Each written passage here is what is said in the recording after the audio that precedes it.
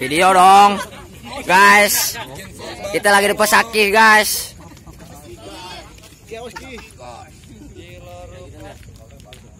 Biasa aja dong, Ki. Bibirnya mikem. Asik.